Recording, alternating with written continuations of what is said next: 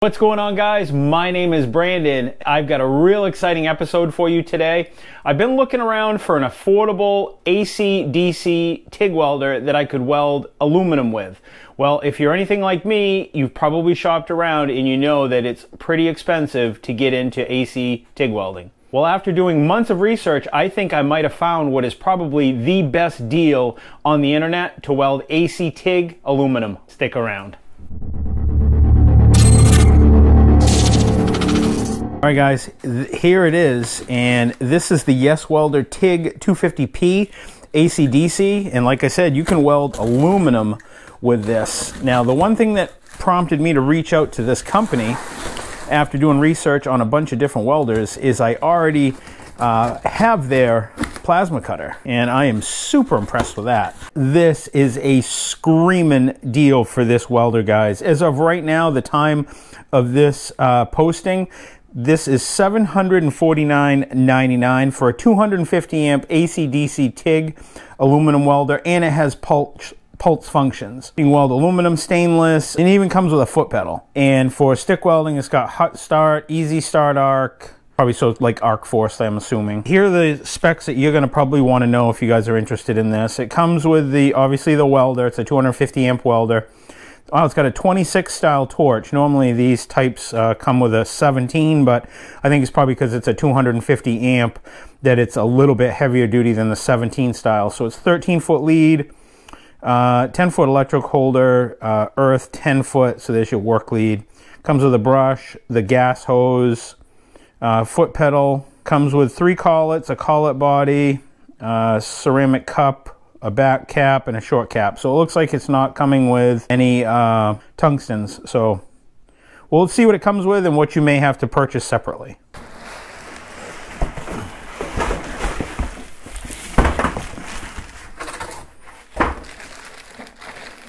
We'll just kind of set everything else aside and just kind of like unbox it as we go. What else is in here? I heard some. Okay, here's the foot pedal. Oh, the cord's nice and flexible. It's not that like uh, hard, plasticky. Sometimes uh, the cords will be like a real hard plastic, like cheap cover, and this is kind of like a rubber. So I'm liking that. Yeah, for you know 750 bucks, guys, this is a smoking crazy deal. To be able to be up and running aluminum with an inverter-based machine, that's pretty impressive. Just looking at this right off, guys, this is everything that comes with it. So they've got a nice torch lead. We'll start opening this stuff up right here. Foot pedal over here. Uh, here is your stick welding electrode holder and earth ground. That's going to be used for TIG and for stick welding. Gas hose. So right off the bat, I can see uh, it even comes with uh, some thread Teflon tape and some directions. We'll, we'll check out and see how good those are. All right, so right off, what I see is you're lacking a flow meter. So you'll have to pick up a flow meter if you don't have one because you're going to want to run typically argon gas with an aluminum welder. Uh, what else? What else? Uh, oh, and this is set up for uh, 220 only. So this welder comes with your standard uh, welder plug on the end. So if you have an inverter based welder or even a transformer based welder and it's 220, that's this. Uh, but the issue I can see is that it doesn't come with a cord adapter. Now, to adapt this to 110, it's, it is going to limit your amperage. So this machine, being a 250 amp welder, this will uh, easily weld quarter inch aluminum on 220. But you're going to be limited on your amperage.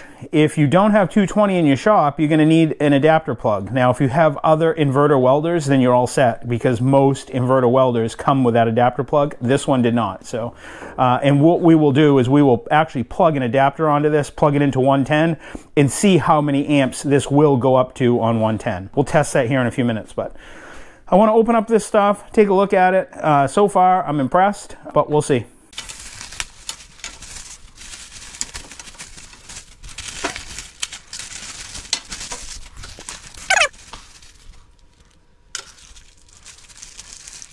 All right, so this is kind of important to me on directions and how directions are laid out and if I can understand the directions. Sometimes uh, imported welders don't have the best of directions and when they do, uh, it's kind of uh, there's a loss in translation between uh, the languages. So it's nice. We got some symbols here that they're going to reference. Arc force. yeah, these are good directions actually. Got a bunch of different charts on what you're welding. So AC pulse TIG, AC TIG, DC pulse TIG, DC TIG, then MMA, which is stick welding. I won't use this for stick welding, guys. There's just other machines that I have that are dedicated. And it's kind of like one of those things with these types of welders, guys, although they're a combination welder, generally they do one thing better than the rest. And because this is marketed as a AC DC TIG welder that also has the capability of stick welding, it probably does best on AC/DC TIG welding, and it probably does okay on stick welding. So kind of like what I have over here, guys. This is my TransSteel 2200. Now this is a, a three-in-one machine. This will do wire feed welding, so it'll do flux core, and it'll do shielded gas welding. It also does stick welding, and it'll also do TIG welding. But its main purpose in my shop is a wire feed welder and I'm running it on C25 gas. If I need to do the other things, it can, but that's kind of this machine's primary function in my shop. Even though I can do other things, this is set up primarily to do wire feed welding because it does it really, really, really well. So for now, I'm just gonna get some of the things out of the way that we don't necessarily need, and we'll start getting this thing set up. So we have our torch body. So we gotta looks like we got to put that together. Not a bad selection. It comes with a stubby back cap and it comes with a long back cap. Throw the collet body in it. So we'll thread this into here. Okay, throw that on. And now we'll throw on our cup. This one is a six. What's it? Six five four, probably.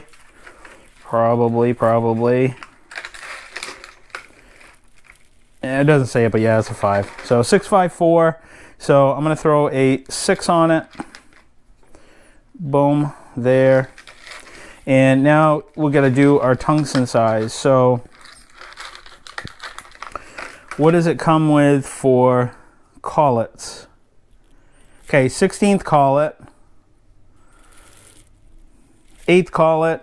in what, 330 seconds? Yeah, 330 seconds. So we're going to go with the 330 seconds collet. I should have some tungstens for this. Let me go look and see what I got. But yeah, I got a good selection. So as of right now, you'll need to buy a set of tungsten and you'll also need to buy a flow meter. I like to keep all my parts for my TIG welders together in a container. That way I know what's what and it just makes it easier when I go to grab it. So um, I've got some Blue Demon tungstens. This is good stuff. These are multi-mix. You can use these for everything. You can use them for uh, stainless steel, carbon steel, aluminum, AC, and DC. So that'll be good. Uh, I got some 16th inch, uh, 1% lanthanated. That's not good. 2% thoriated. Uh, that's not good. That's for DC. And the great thing about these multi-mix guys is that they're not a carcinogen. Some of these tungstens actually are radioactive. They have a bunch of hazardous chemicals in them. These ones aren't. So that kind of makes it nice. So to get set up, you're actually going to need to pick yourself up some tungsten electrodes. You're going to have to pick yourself up a flow meter and you're going to need some filler metal. So, but that's basically it. So I'll have links to all that stuff down below, and I'll also have a link to this welder down below too, as well, so you guys can check it out. You just want to save yourself, uh, you know, some health risk, so make sure you're wearing a respirator, and I like to handle it with gloves too. There's all kinds of ways you can sharpen your tungsten, and the way I choose to do it is I use the side of my grinder wheel probably not the right way to do it, but that's how I do it because uh, I don't use the side of the wheel to do anything else, so it's never had contamination from metal on it. And I put on a leather glove just so it doesn't slip and like drag the rubber glove into the wheel.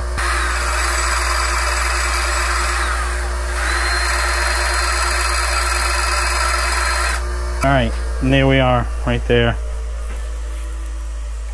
And then feed our tungsten through. Then screw on our back cap. This is a long back cap. Uh, you can get a shorter back cap uh, for these. Sometimes it makes it a little bit easier to, to handle.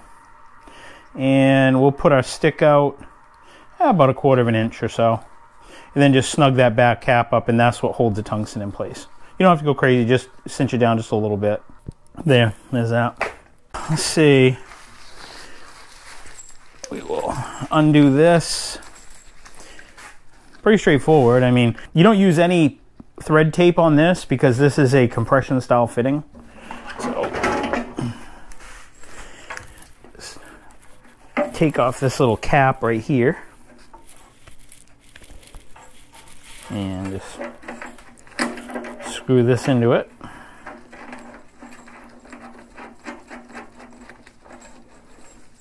This is for if you use the off on feature for this, but we're going to use the pedal. So I'm going to not connect this up. We'll just kind of tuck that back into itself and hook the foot pedal up to it. So you can only go, yeah, it can only go in one way, so you can't really mess this up either little notch at the top. You can see that little notch on that. That just goes into that like that. Just snug that in.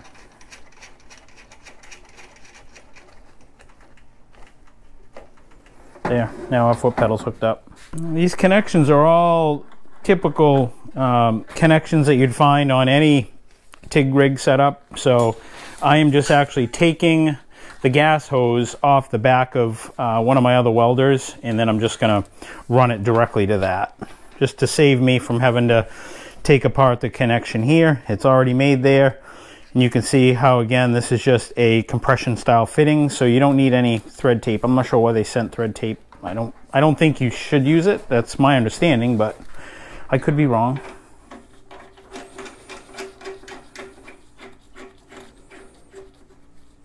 And you should make sure that you use two wrenches when you tighten these types of connections so you're not loosening or tightening the fitting inside uh, the cabinet.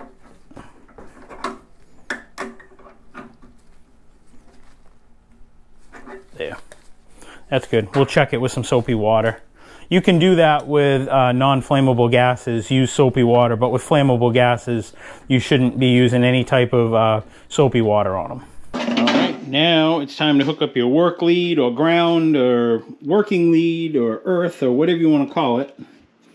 And that goes to positive because whenever you're welding aluminum or just like steel, uh, DC electrode negative. So electrode is automatically in the negative. So you would put your working lead or earth or ground, whatever you want to call it, into positive just like that. Now the first thing you want to do is stand off to the side. Now with these flow meters, you got to be careful when you turn these on because this bulb will actually bounce right up and hit the top of the gauge and you don't want it to break and you don't want to be standing in front of it because you know 2000 psi of gas coming out if this gauge should pop something should go wrong you don't want to be in the line of fire so turn it on slowly real slow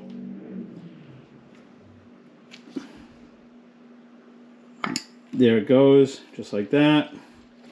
Turn it on all the way. So now we're going to plug this in. I'm putting this on 220 volt to start out with, just so we can run it through its paces, and then we'll see, you know, the amperage go all the way. It should go up to uh, 250, and then we'll try it on 120 see how far it goes up. So turn it on in the back, and if everything is right, the front indicator panel should be on. It is. Okay, good.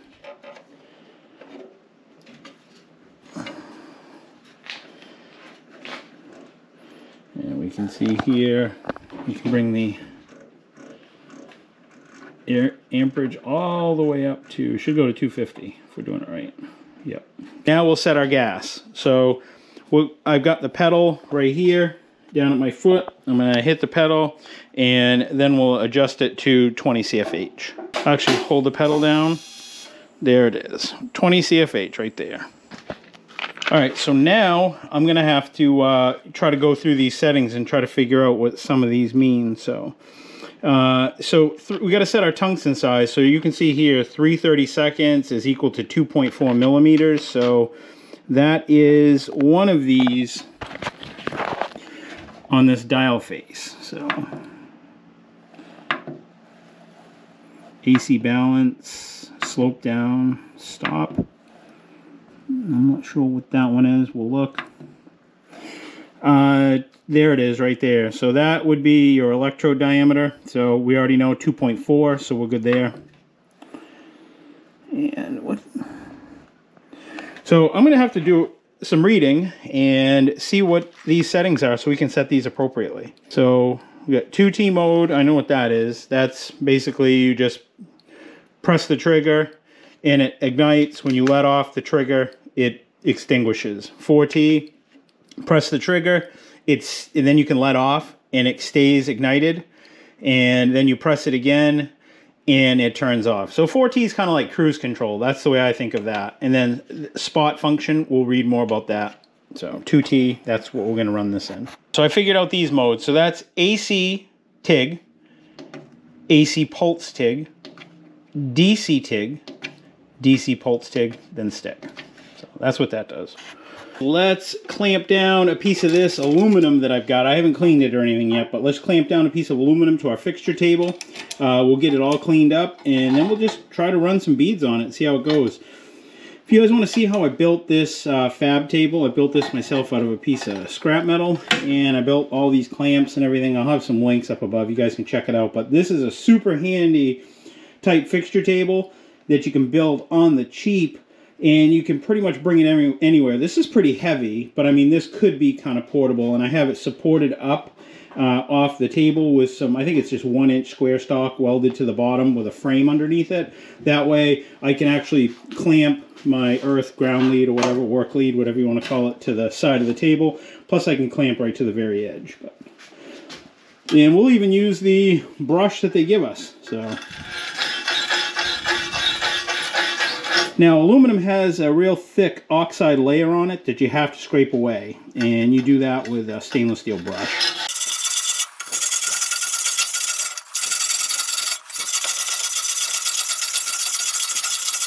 You can also pick yourself up some acetone too.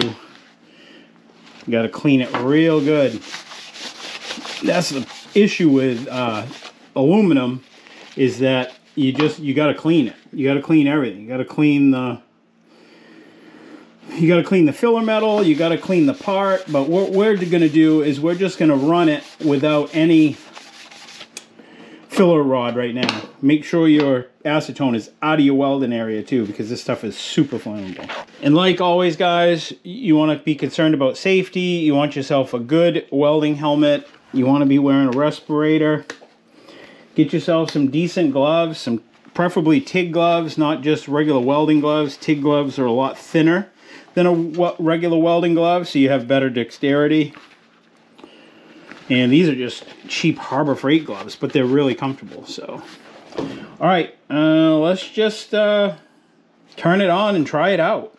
We'll set it for uh, 200 amps on the pedal, and we'll just go from there and see what happens.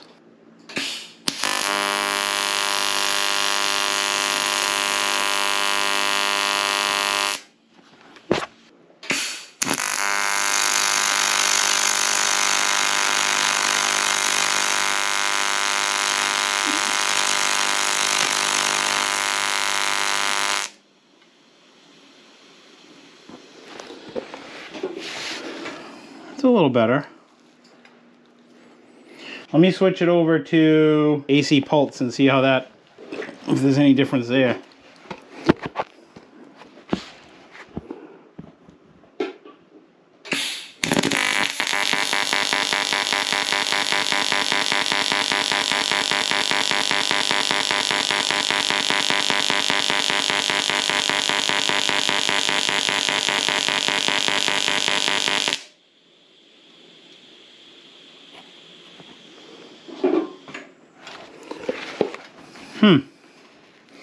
Kind of neat, huh?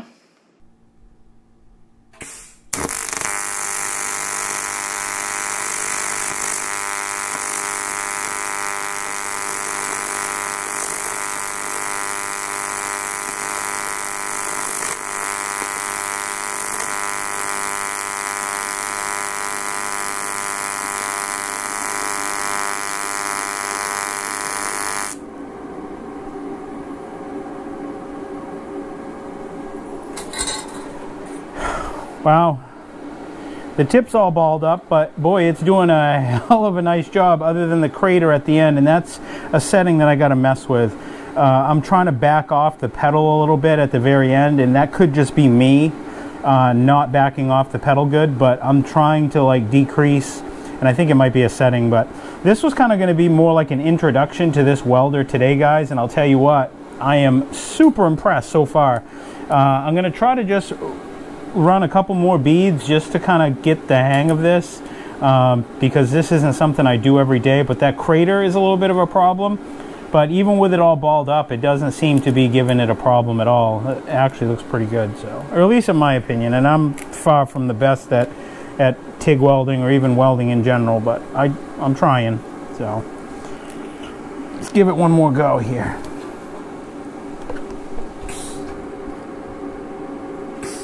So the key to this, guys, is to not add your filler metal until it. Uh, I think I, yeah, I just dipped it. All right, I got to clean it. I got talking and sidetracked. So the key is to not add your filler metal until you're actually ready uh, to start welding. You want to make sure that you've actually melted the base metal and that a puddle starts forming before you start introducing this. Because if you introduce this too soon, it's kind of like uh, if you guys have ever soldered a pipe uh, and then you just hold the solder in front of uh, the pipe and melt the solder, it just starts dripping all over the floor. Well, that's what it'll do with uh, this as well. It'll just start dripping. But you can see how I dipped the tungsten here and it made a hell of a mess. So we'll have to clean that up. I'll wire brush this down, resharpen this, and then we'll go at it again. And another little handy thing I forgot to share with you guys that's real handy when you're TIG welding is obviously do your point whatever you need on the working end of it and then leave the color side of it, but put on a real quick point on the end of that as well. Just something steep, not to not to actually weld with. You could you could flip it the other way and use it, but I like to leave it uh, on there so I know what color it is. But if you put a drastic point on the end of this, you never have to take your back cap off uh, to to take your tungsten in and out. It'll just taper in into the collet. If you leave it blunt, uh, sometimes they don't go in that easy. So just a little tip to help you guys out. So yeah. So there we go. Let's uh, give this another go.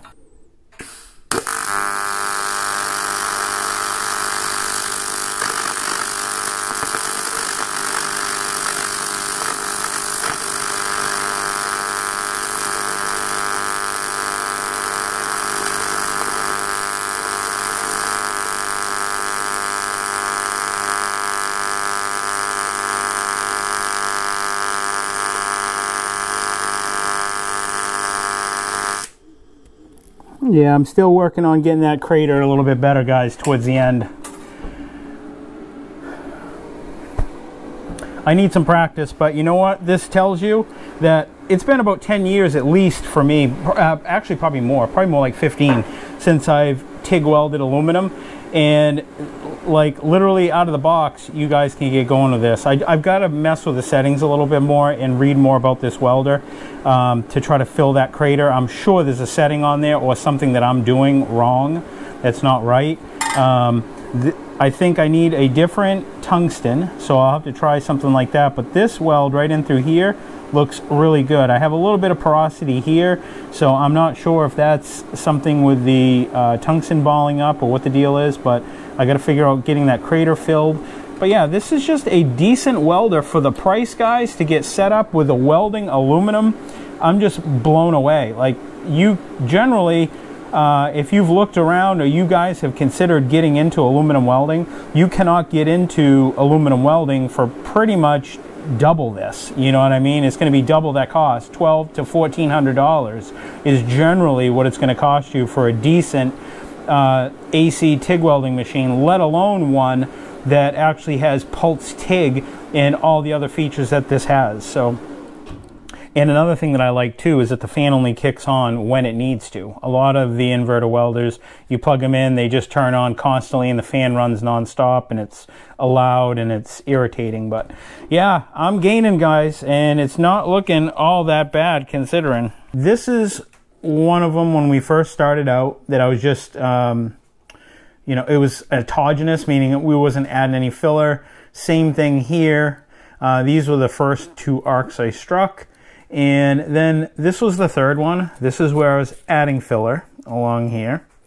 And that's the little crater I'm talking about. I noticed I actually went through uh, and was watching the videos, and I think part of that is I don't have the right torch angle. It felt like I did when I was using it, but I obviously don't. I was really steep. Um, you should be probably no more than maybe 15 degrees, roughly, if I had to guess. And I just had it uh, leaned over a little too much, and that wasn't the proper way of doing it. But uh, this really isn't an instructional video. I'm just trying this out of the box to show you guys maybe what you could expect for results. And then I'm adding filler metal here as well. You can see I got a little bit of a crater. So I think if I stand the torch up a little bit more, that's going to have a tendency to blow this away less. And I think I need to work on practicing on backing off my amperage, letting off my pedal, and adding a little bit more filler metal before I terminate it. So, yeah. But all in all, not too bad. Like these are the first welds I've struck on aluminum in 10 years. So uh, if I can do it, guys, you can too. I'm nobody special. Um, I'm just like you guys, and this is pretty much all a learning curve for me as well. But the one thing we want to know, what happens if you do it on 120? This is just a typical welder plug to 120 volt plug here. So, and it doesn't come with this. Uh, maybe there's a reason why. Maybe it doesn't work. I've never tried this, guys. I don't know how this will work. So, again, this is right up my alley. We're experimenting. This is a dedicated uh, outlet, 120 volt, 20 amp. Uh, there's really nothing else plugged into it right now. It's on maybe a 20 foot cord, so that is going to reduce uh, some of the voltage or amperage to the plug. And now we'll plug the welder directly in that. So we are now on 120 volt. So I want to show you something guys and I'm hoping that you can see it okay. You see how the tip on this is all balled up? Now that's really not what you want it to look like. You want that, when I say balled up, you want it to, to be somewhat at a point with just a little tiny glob at the bottom, not with this big uh, dauber on there. That's, I mean, these, these rods work. They do okay, but there are better ones. Like a 2% lanthanated would be a good rod to use for this. And I've got some other ones that I just put in on order that'll work a little bit better. These will work, uh, these Blue Demon ones, but they're probably not ideal. I also noticed watching the video that I didn't do an overly great job uh, trying to keep a nice centered shot so that you guys could kind of see what I'm doing. Uh, my next step I got to work on is you guys really want to see arc shots and I, I just really honestly haven't put a whole lot of effort into making that happen but I can promise you guys I will make sure that very soon you guys get some uh, real good arc shots because it is kind of nice to see uh, what I am seeing exactly through the hood. And although I think I mentioned it, I don't know as if you saw me doing it, uh, you should also clean off your filler rod as well. That's kind of why I lean it up on like the clamp so that the end of it over here is not touching the table and picking up any contaminants. And again, make sure your acetone and your rags and everything else is uh, out of the area. Actually, guys, that's actually a good point uh, for me to bring up to you. So you see this uh, container down here? This container right here, it's just nothing fancy. It's just a metal bucket. And you can see it says stain and solvent rags on it. I put stuff like that in that bucket. Um, that way, because a lot of these solvents and chemicals can spontaneously combust and uh, you want it in an airtight container. So get yourself a metal bucket. Don't just throw this in with your general trash because all it takes, guys, is one little tiny spark and then your shop goes up in flames and you guys don't want that. So grab yourself a little bucket. It's cheap and make sure you have a fire extinguisher in your workshop. All right, let's turn it on. I'm curious to see how this is going to work, guys. I don't even know if it will, but we'll see.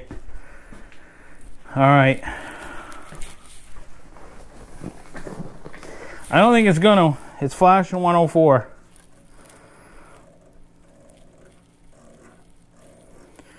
All right, guys, so that will not work. So now we know. That solved that mystery, guys. So if you buy this welder, you're gonna have to have 240 volt in your workshop. You cannot hook it up to one of those adapters like I was kind of hoping. So sorry about that. It is what it is. So like I said, it needs a lot of amperage to punch through that oxide layer on top of that. So let me just run one more bead just for the heck of it. I am going to go in depth with this welder for you guys in very specifics of what each and every setting on this does. I'm going to work on trying to get this crater filled at the end, guys.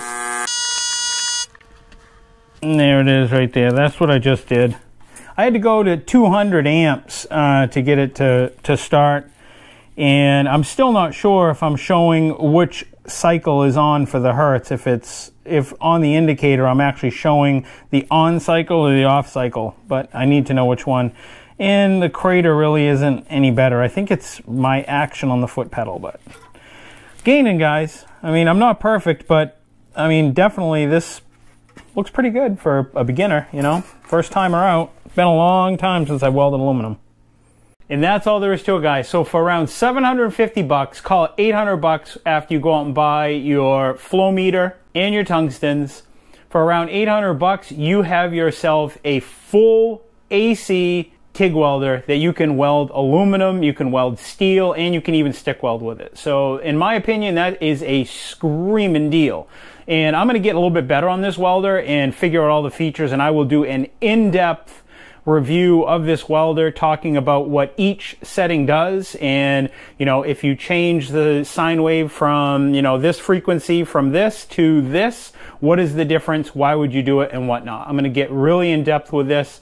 Hopefully this will be like a beginner welding series for this welder. If you decide to purchase one of these and you'll know right out of the box how to use it and how to set it up. I want to thank you guys for watching. Thank you guys for tuning in. If you're wondering what I'm working on before it makes it up to YouTube, you guys can catch me on Facebook and on Instagram. I'll have links down below. New videos every Friday. Please like, comment, and subscribe. So until next week, guys, I will see you then. Take care. Stay safe. See ya. Like, comment, subscribe. Bye.